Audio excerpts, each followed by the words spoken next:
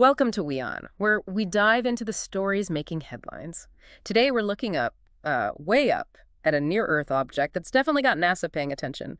You're about to get the rundown on this space rock, why it's significant, and, well, why we're talking about it. Yeah, so the object drawing attention right now is uh, asteroid 2003 MH4, and it's not tiny. We're talking something like um, 1,100 feet across. Okay, 1,100 feet, that's, that's a pretty good size, and it's making a close pass soon, May 24th. That's the date, yeah.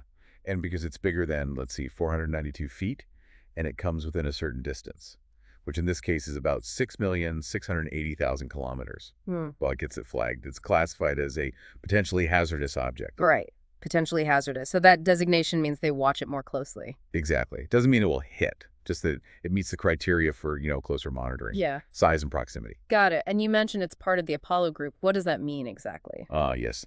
The Apollo asteroids, they're near-Earth objects whose orbits actually cross Earth's orbit. Okay, so they intersect with our path around the sun. Precisely.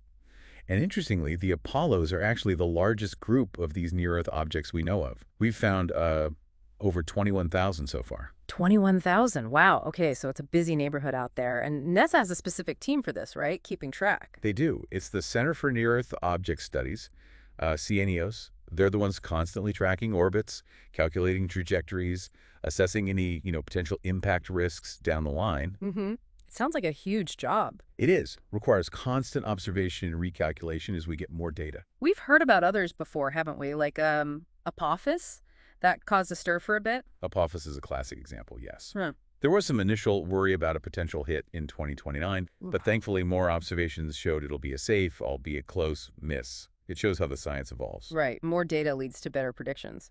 So with 2003 MH4, what's the main takeaway for you right now? Well, the key point is simply that we have a relatively large asteroid making a notably close approach. Its size puts it in that potentially hazardous category, Yeah. which means NASA is, quite rightly, keeping a careful eye on it. It just, you know, Mhm. highlights the ongoing work being done to map and understand our cosmic environment. Absolutely. It's good to know someone's watching the skies. Definitely fascinating stuff. Stay tuned, you, for more intriguing stories coming your way.